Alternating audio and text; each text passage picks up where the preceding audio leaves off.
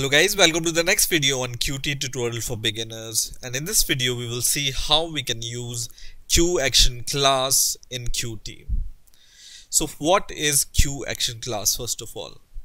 The QAction class provides an abstract user interface action that can be inserted into widgets.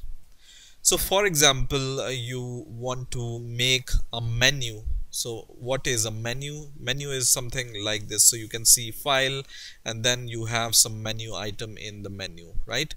And then you also have the toolbar. Toolbar is something like this. You can see this welcome icon edit or design or project or this kind of uh, uh, you know bar is called toolbar right?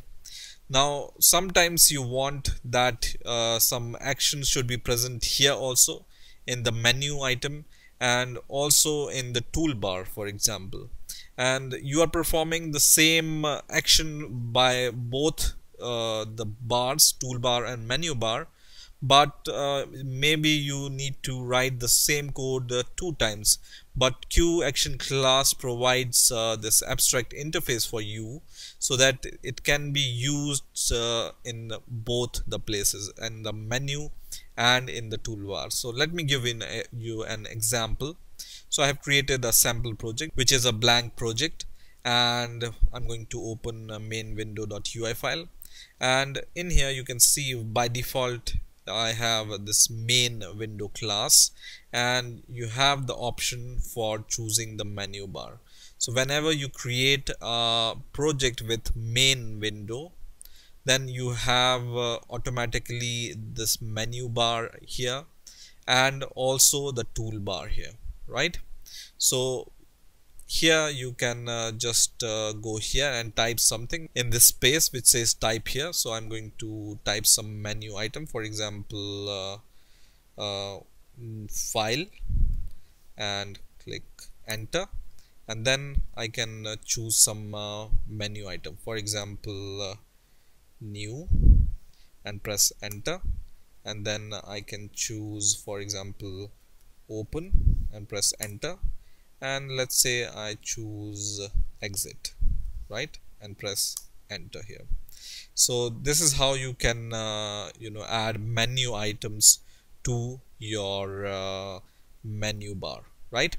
Now as soon as you uh, add these menu items you can see in this uh, little space here there are some actions created whenever you create these menu items right?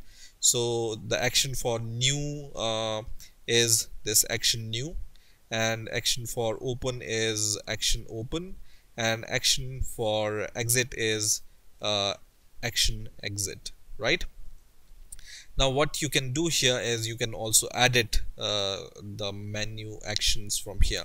So you can just uh, double click here and you can see the text for the menu then the object name for the menu and then this is the tooltip. You can even uh, choose the icon here. So let's add some resources and let's uh, add some icon. So I already uh, have shown you how you can add the resources. So you go to your project and then right click on your project and then uh, go to add new. And in here go to qt choose qt resource file and then uh, click choose and then give the name of your uh, resource folder. For example resource itself and then click next.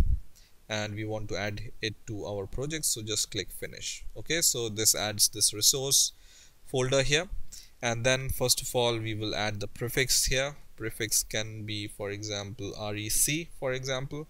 And then press enter. And this is your uh, prefix. And I want to add some uh, images here. So I have already uh, some images in the project folder. So when I uh, right click on any of the file here and I will uh, click show in explorer you can see here I have uh, created this image folder which is created by me and I have some images here. So you can find some images online and uh, you know create this uh, folder and place your images there right? So in here I'm going to just add uh, those files. So I'm going to just say add files and I'm going to just go to my image folder and choose all these three files right? Click OK and these files are added here right? And then I'm going to go to my main window.ui and in here I can choose uh, the icons. So once again I'm going to go to these actions and I will go here in the new and I will click this and choose resource. And in the images I can choose uh, the icons here. So for new new and click OK. So this icon is added. Once again for open also I'm going to add the icon. This one is the icon for open. And then for exit. So let's choose the icon for exit which is this one. Okay? And now when you see them automatically these icons are added to your menu items right? Now the same actions you want in the toolbar also. So this action class makes it really easy so what you can do is you can just uh, choose this new action and drag and drop in your toolbar here. You can see red here and just uh, drop it here right? So this this is the same uh, action which we can see here in the new right? So second action which is for open and the third action which is for uh, exit right? Now in order to uh, provide some code for the action what you can do. You can just uh, right click on any action and then go to slot. So just click go to slot here. And uh, by default it will select triggered. So just choose this triggered slot and click OK. And in here for example uh, new triggered let's add first of all some message uh, class. So just add hash include QMessageBox. Okay so just write q message box so that we can use this uh, class. So just write QMessageBox and let's say we want information. So just choose information and then it takes three arguments. First is this second is the title and the third is the message. So I'm just going to say new here. You can perform any message uh, or any uh, code here I'm just uh, going to show you the demo right? So the third is the message right?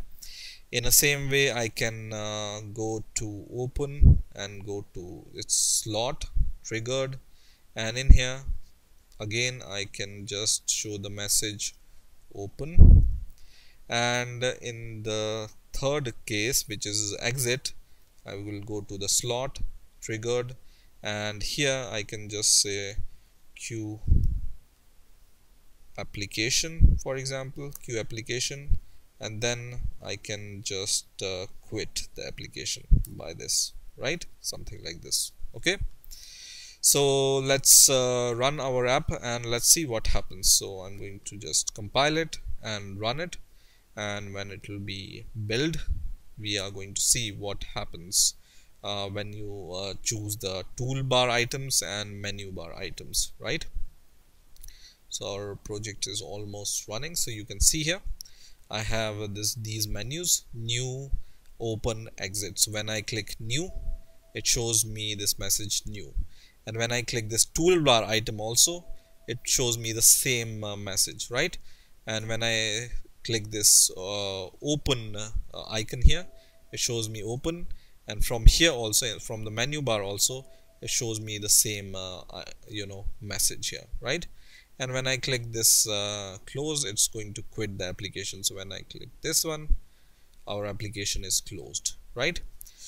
So in this way you can use QAction class uh, in qt. I hope you've enjoyed this video. Please rate comment subscribe and bye for now